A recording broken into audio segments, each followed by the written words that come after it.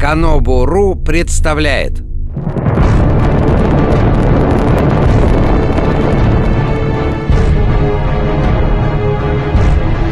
Разглядывая выстроенные на моем столе в ряд миниатюры Warhammer 40 тысяч, я вдруг впервые задумался, а как же так вышло? Откуда они у меня взялись и в таком количестве? Почему именно Warhammer, а не что-то другое? Зачем мне миниатюры, если я не собираюсь участвовать в настольных турнирах, да и вообще играть в это? Когда настал тот самый момент? Поразмыслив, я вывел для себя три принципа игровых вселенных, когда они перестают быть просто описанием какого-то далекого, чужого мира и начинают казаться роднее отечественной истории.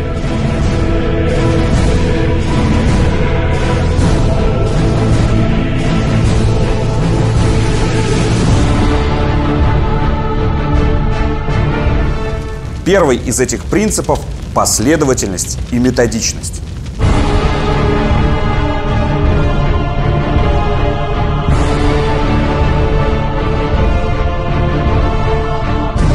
Сложно представить себе более неуклюжую и несовременную игровую вселенную.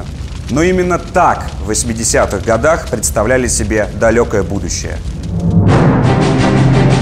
Это было время, когда умами людей владели такие произведения, как «Дюна», «Звездные войны», «Star Trek». На фоне того же Mass Effect или Deus Ex Warhammer выглядит как чадящий масляным дымом механизм среди элегантной, лощеной продукции Apple – но именно в этом его сила и уникальность. Warhammer, как древний солдат, не знающий слов любви, несет в себе отголоски тех наивных представлений о битвах будущего. Это как старый рок-н-ролл. Подобная несгибаемость заслуживает как минимум уважения. И это первый признак хорошей вселенной. Второй закон хорошей вселенной – монолитность и закономерность.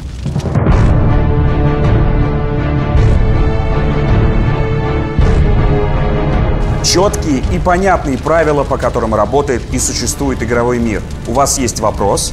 Порыскав по многочисленным кодексам и книгам, вы обязательно найдете нужный ответ. Возможно, вам сейчас не очень понятно, что я имею в виду, но вспомните все свои вопросы к Mass Effect. Теперь понимаете, о чем я?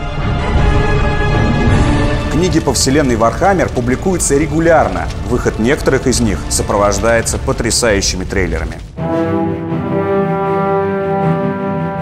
Так, серия книг «Ересь Хоруса» вошла в список бестселлеров «Нью-Йорк Таймс». Но главное, что создатели вселенной, компания Games Workshop, плотно держат руку на пульсе, не позволяя игре выйти за установленные рамки. Если в книге говорится «А», значит будьте уверены, в мире Warhammer обязательно найдется «Б», и ваше любопытство будет удовлетворено.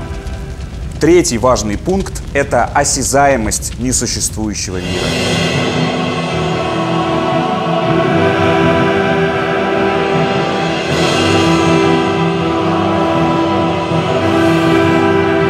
Warhammer — это в первую очередь настольный варгейм.